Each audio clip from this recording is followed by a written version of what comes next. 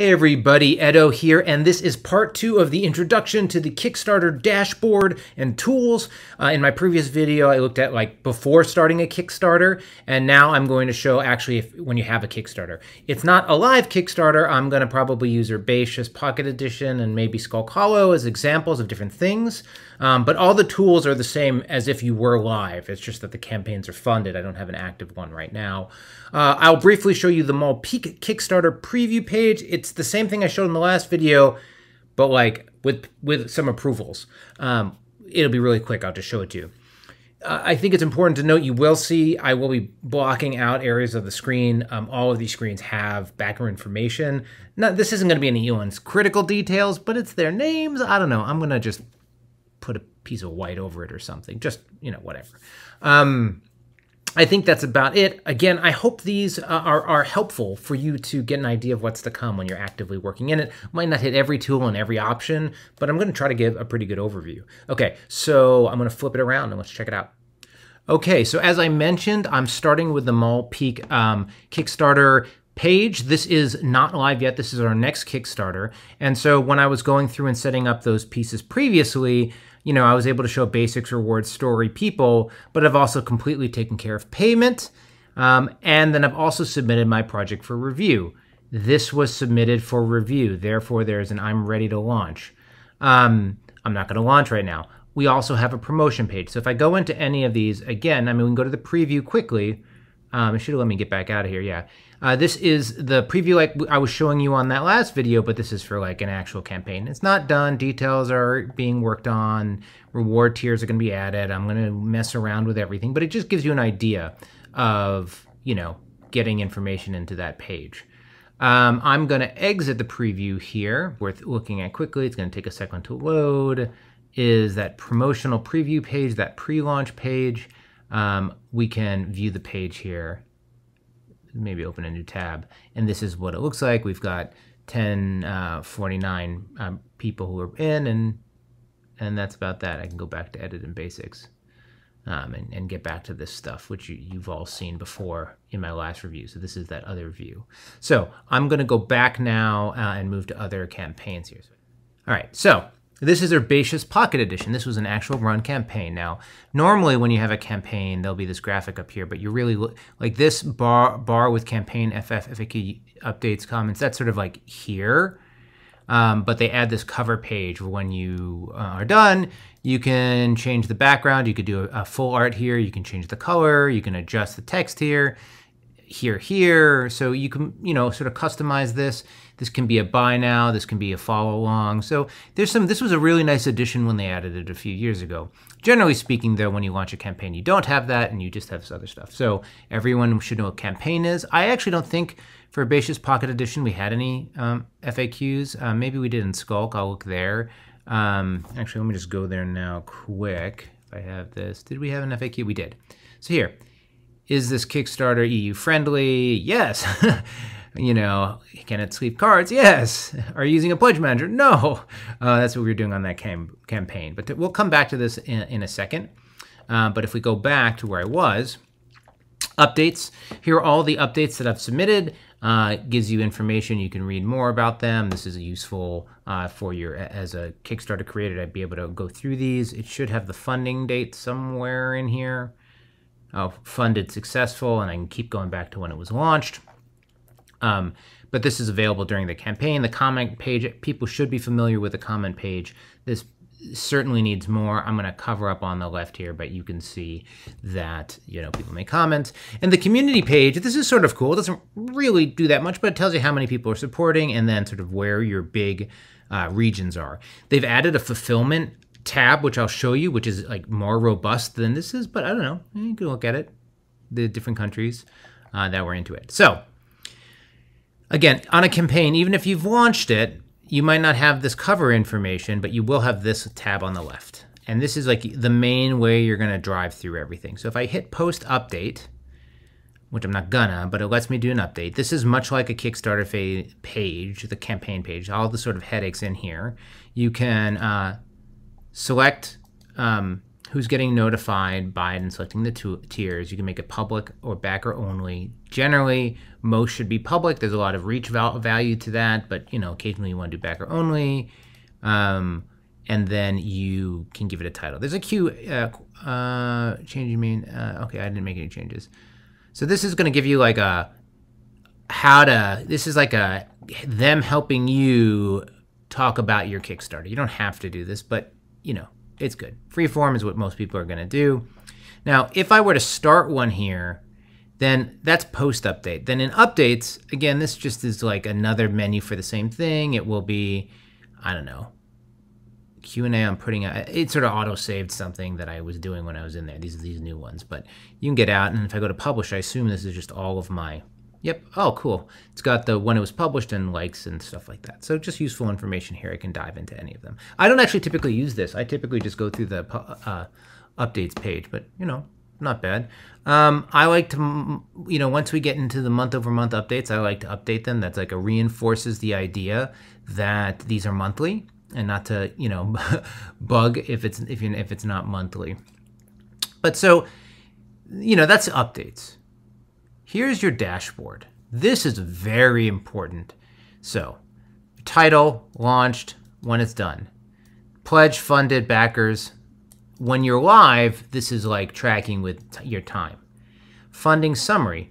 This doesn't appear until after that campaign. I mean, it's here, but it's like it doesn't it doesn't have a link.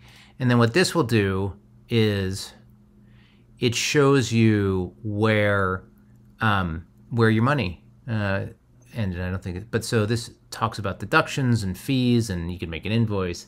This is all good information to have. If I go back now, if I, I don't know, I'll get back there. Uh, we'll go back to the dashboard. So um, that's your funding summary.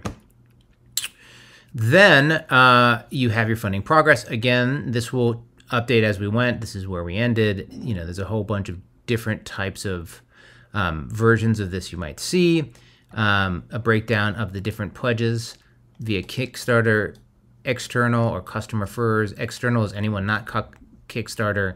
Custom referrals is a, a, a referral tag you've made. Um, so then you have this this table. It populates as as you you get pledges, and this will tell you where your pledges are coming from. Um, many of these are in fact Kickstarter email. Most of these are Kickstarter. It says it here but um, some of them are recommendation. You can see what these pages look like. Um, no reference means somebody didn't come from a direct link. I'm not to go into how, I don't want to get into this deeply in this meeting, but the only other thing I would note is when you have this campaign going, you can make, there's another tab here that allows you to make custom tags like I did here, PFG newsletter, letter, it says custom. This means I put a link directly into the newsletter and 34 people from that newsletter back the game. So this is the project followers. These are followers of people who've opted in to being reminded and then how they converted. These numbers are going to be different for all sorts of people. Again, this was not a huge campaign. I mean, it's not a small campaign. Very happy with it. But this was, you know, modest and I expected it to be. This was a small little um, 15 or $20 pledge. um, probably 20 considering that. Um, no, maybe not. Um, but you know, I, I mean, uh, this is going to be widely different for lots of people. Then there's your video. That's the video on the front of the page. This 91% is an amazing number. You, you basically, it's almost impossible to do better than this number. That was because this video was like, you like Herbaceous? Here's a pocket edition. I think it was 10 seconds. Uh, typically, this is going to be a much lower number, um, and it tells you if it's played on Kickstarter or off-site. Here's a breakdown of your rewards. No rewards, 42 backers. The main one, which was 15, was the game. Then uh, two copies, three copies, that kind of thing. Uh, if you're into Google Analytics, you can add that. You can enable then add that. And so in this page, which again I'm going to cover up most of the information, this shows you every single thing that happens on your campaign. Comments, pledges, adjustments, which could be up or down, all that stuff. It's it's a very useful thing uh, to look at. Um, it'll also drive you nuts if you're looking at adjustments and getting upset. And then this just scrolls forever. So that's what you're going to get here. I think during your live campaign, there might be a couple more things in here. Then you have your backer report, incredibly useful information. So this is going to have a list of all your backers, and you can separate them by what they backed, whether they're dropped, you know, was it delayed, shipped. You can click on a person, see their information. Um, again, I'm going to be covering this, but you'll get a little field here with their details. You can issue a refund from here. Um, you can start your, you can export a backer report, which is all the information. You can do it by tier, none, all rewards. You can do it like every detail, or you can do it sp specifically for certain uh, export styles. Um, very useful. You can create a survey. We did not create one for Herbaceous Pocket Edition because it was it was the only campaign I did a pledge manager for. So um, that might be something I'll show you on the other case. Uh, and then you can send a message to everybody. Also neat, just so you don't know, if you want to go to like a subset here, you can message a, uh, a, the subset. This is super useful.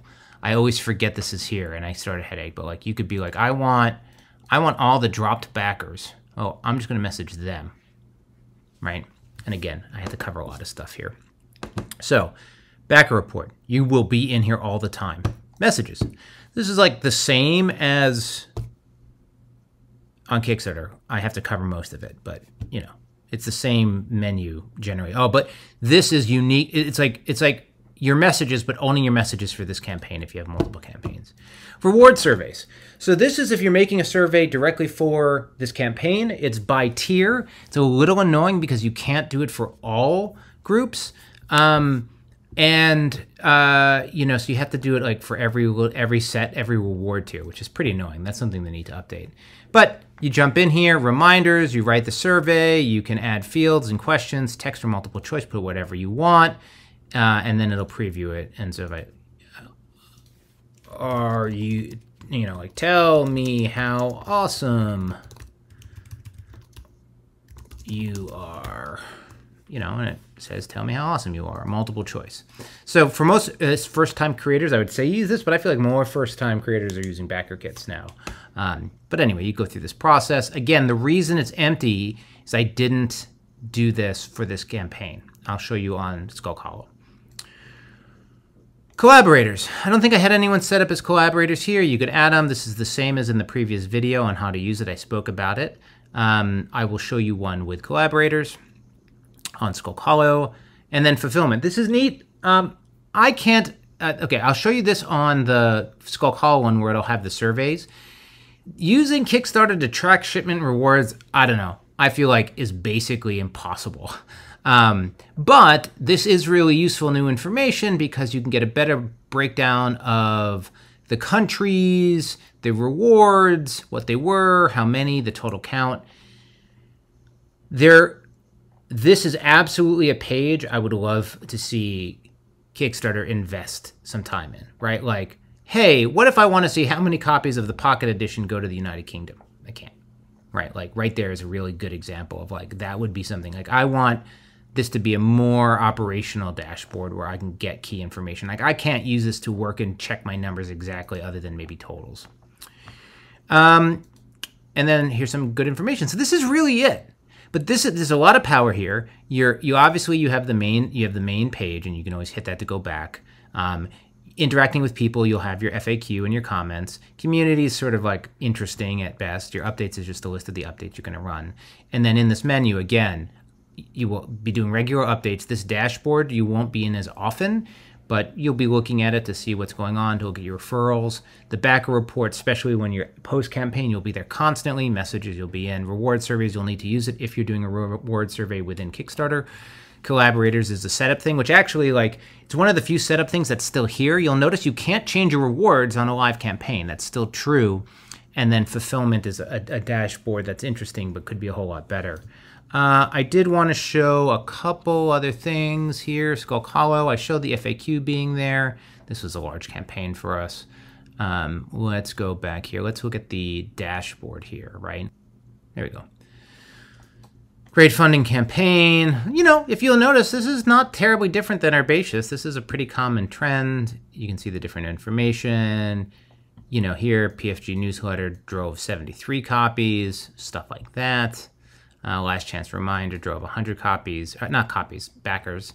That's of thing. Project followers, that range I think was 25% on the other or 20, but this is, you know, sort of standard here. Here's a much more normal number at 55%.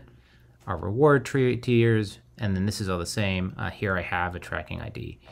Um, but the other thing I wanted to show you was, so here in fulfillment, in this case, it's going to show that our surveys were completed. Um, let's see, reward surveys, I had done some, so you know, it'll tell you who, how many have responded and whether or not changes are allowed, are allowed or not allowed. That's your like final warning. And if I hit survey here, I think it's going to show the survey how we sent it. Oh, and collaborators. In this case, I think Sebastian and, and Dustin, graphic designer, artists, were collaborators. Uh, Sebastian was helping with the page. Dustin was just interacting with the people. And that's it. So again, um, this is meant to be give you an idea of these tools. I didn't go deep into them, especially like referral links and stuff. But hopefully this is helpful. I really, you, you know, it can be a lot, especially when you're getting into it for the first time.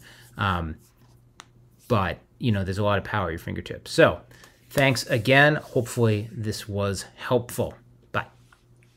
Hey everybody, Edo here, and thanks for watching Gaming with Edo reviews over here on this playlist, league and insider videos over here on this one. Subscribe, share, all that good stuff. But most importantly, play some great games. Thanks. Bye.